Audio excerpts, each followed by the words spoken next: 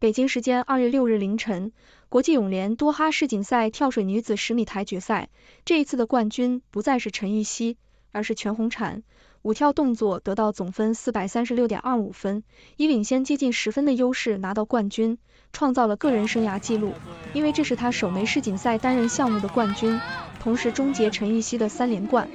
此前，全红婵在奥运会、全运会、亚运会的单人项目全部拿下冠军。不过世锦赛、世界杯的层面连续颗粒无收，主要原因还是临场发挥稳定性不如陈芋汐。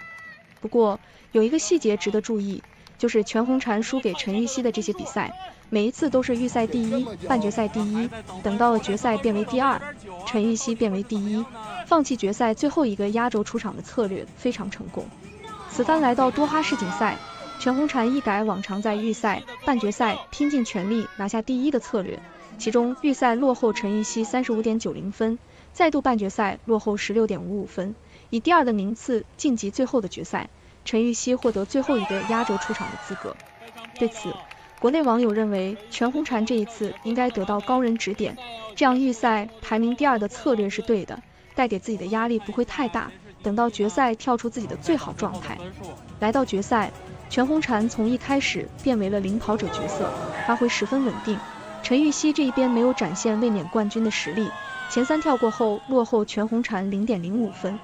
第四跳是二零七 C 动作，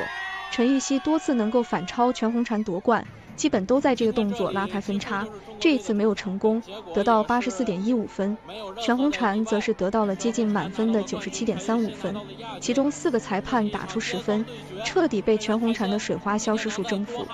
尽管最后一跳陈芋汐得到九十一点二零分。依然未能实现逆转，目送全红婵锁定第一，无缘实现世锦赛四连冠。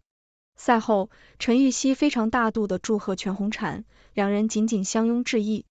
决赛最后一个压轴出场，多少都有一些压力。这一次全红婵改变策略，最终成功拿下第一，终于拿到了梦寐以求的世锦赛单人冠军。